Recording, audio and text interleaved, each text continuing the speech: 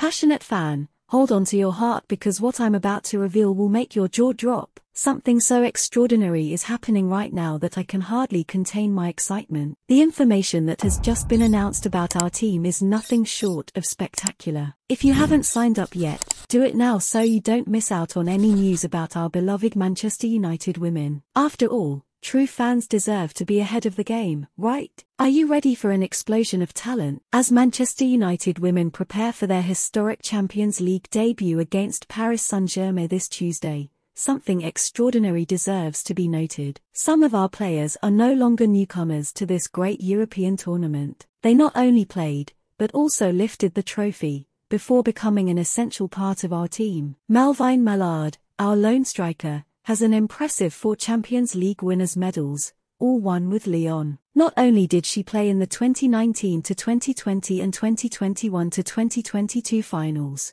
but she was also part of the previous triumphs in 2017 to 2018 and 2018 to 2019. The most recent signing, Geyse, won the European tournament just four months ago. The Brazilian came on as a 70th minute substitute during Barcelona's 3-2 win over Wolfsburg in the 2022-2023 final. And it doesn't stop there. As well as this winning trio, there are other Reds who have played in the Champions League. Irene Guerrero took part in four qualifying games for Levante in 2021 to 2022, while Lucia Garcia represented Athletic Club in the 2016 to 2017 season. Two of our English Reds, Rachel Williams, 2012 to 2013, and Mary Earps, 2013 to 2014 played in the tournament for Birmingham City. Mary Earps appeared in the tournament again with Bristol City in 2014 to 2015, eight years before she was recognized as the best goalkeeper in the world by FIFA. Club captain Katie Zelem has four Champions League appearances with Liverpool to her name,